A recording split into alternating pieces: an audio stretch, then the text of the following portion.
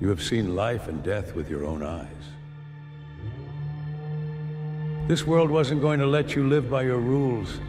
So you made them believe you were following them. You're rusting. That's a good sign, isn't it? Why would you abandon the peaceful life you always wanted? My conscience.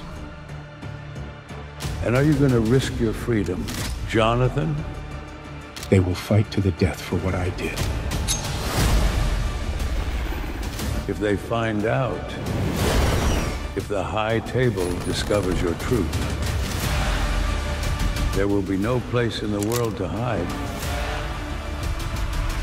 And they won't stop until they bury you with their own hands.